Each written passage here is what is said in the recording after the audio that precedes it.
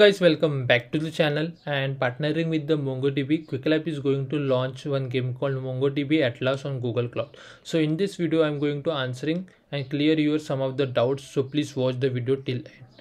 So here you can see the game is going to starting from 8th of march and ending on the 8th of uh, 11th of march. Okay. And there is a less possibility that they are going to increase the slots. So please be proactive on the 8th of march okay. Now first of all what you have to do if you just come over here and click on this register yourself then you will redirect to this page. Now here you have to just give your personal credentials like email id personal name and all these things. Now and simply click on submit. Once you click on the submit then you will you will redirect to this page like this. Okay. Now and you will get one mail from the mongodb on your that register email like this. Like this. Okay. Now on the 8th of march what you have to do? You have to just log in with your personal email id and just perform the this labs complete this lab. After completing this lab you will get this badge okay. Now you might have the doubts like i can use this badge on my price counter of the arcade event. So no both the things are different. Do not merge arcade event with this game.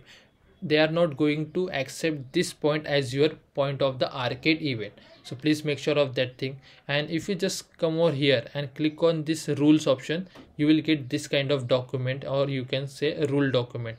So they have just mentioned over here you must have the age of 18 year old okay please make sure of that thing.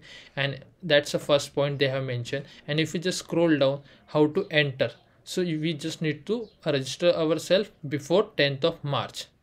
Okay before 10th of march we have to register over here and we will get that email. Now if you just come over here in the price section they will going to give one backpack one sticker and one mongodb hat. But they mention over here this not for the all of them not for all just for the 10 people.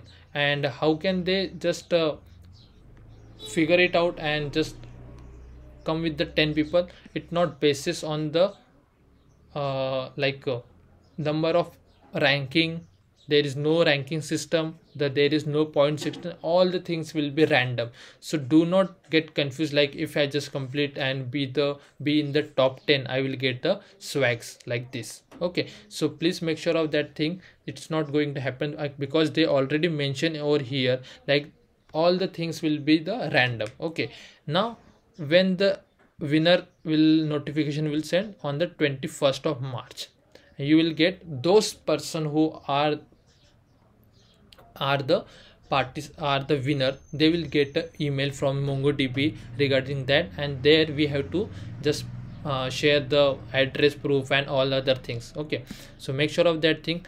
And now you might have the doubts like uh, if you didn't mail so, uh, didn't get a mail from the mongodb regarding the swag so do not reach out to the chat support team. Okay they don't have to do anything with this thing all the swags thing. If you are facing the issue like some of the labs then you can just reach out to them. But for the swags and for the slots do not reach out to them. And that's the thing which i have to explain you. If you still have any doubts please let me know in the comment section guys. Thanks for watching and have a good day